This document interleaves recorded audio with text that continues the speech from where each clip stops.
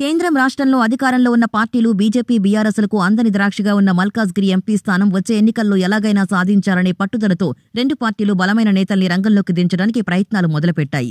Parliament నియోజకవర్గంగా ఏర్పడినప్పటి నుంచి ఈ రెండు పార్టీలు ఈ సీటును గెలవలేదు. మూడుసార్లు కాంగ్రెస్ ఒకసారి టీడీపీ మల్కాజ్గిరి ఎంపీ సీటును గెలిచాయి. పునర్విభజనలో ఏర్పడ్డ ఈ నియోజకవర్గంలో కాంగ్రెస్ నేత మాజీ కేంద్ర మంత్రి సర్వే సత్యనారాయణ వరుసగా రెండుసార్లు గెలిచారు. మూడోసారి జరిగిన ఎన్నికల్లో ప్రస్తుత మంత్రి మల్లారెడ్డి టీడీపీ నుంచి పోటీ చేసి ఎంపీగా గెలిచారు. నాలుగోసారి పీసీసీ అధ్యక్షుడు రేవంత్ రెడ్డి ఈ పార్లమెంటు స్థానంలో గెలిచారు. అధికంగా ఉత్తర భారతీయ ఓటర్లు అధిక శాతం హైదరాబాద్ నగర ఓటర్లు ఉన్న మల్కాజ్గిరి పార్లమెంటు సీటును ఎలాగైనా రాబోయే ఎన్నికల్లో గెలవాలనే పట్టుదలతో బీజేపీ ఉన్నట్టు కనిపిస్తోంది. ఎన్నో రాష్ట్రాలకు ఇన్ఛార్జిగా పనిచేసి బీజేపీని గెలిపించిన పార్టీ జాతీయ నాయకుడు మురళీధర్రావుని మల్కాజ్గిరి నుంచి బరిలో దింపుతున్నట్టు సమాచారం. మల్కాజ్గిరి పార్లమెంటుకు ఎలాంటి సంబంధం లేని మురళీధర్రావు తరచూ నియోజకవర్గ పరిధిలోని వివిధ సెగ్మెంట్లలో తన పేరుపై కార్యక్రమాలు నిర్వహిస్తూ పట్టు కోసం యత్నాలు చేస్తున్నారు.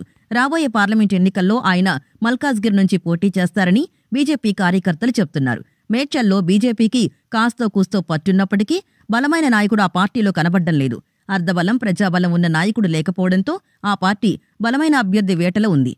పీసీసీ అధ్యక్షుడిగా రేవంత్ రెడ్డి ఎన్నిక కావడంతో నాటి నుంచి రాజకీయాలకు దూరంగా ఉన్న మేడ్చల్ మాజీ ఎమ్మెల్యే కేఎల్ఆర్ను పార్టీలోకి చేర్చుకుని మేడ్చల్ నుంచి పోటీకి దింపాలని పార్టీ పెద్దలు యోచిస్తున్నట్టు సమాచారం. కేఎల్ఆర్తో పలు దఫాలు చర్చలు చేశారని ఆయన రెండు మూడు నెలల్లో పార్టీలో చేరతారని ఆ పార్టీ నాయకులు చెప్తున్నారు. గత ఎన్నికల్లో బీఆర్ఎస్ నుంచి మల్కాజ్గిరి పార్లమెంటు అభ్యర్థిగా పోటీ చేసి ఓడిపోయిన మంత్రి మల్లారెడ్డి అల్లుడు మర్రి రాజశేఖర్ రెడ్డికి ఈసారి ఆ పార్టీ టికెట్ ఇస్తుందో లేదో అనేది మిలియన్ డాలర్ల ప్రశ్న.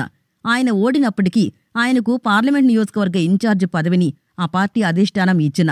ఆయన పూర్తిగా నియోజకవర్గంలోని అన్ని సెగ్మెంట్లలో కనిపించలేదు.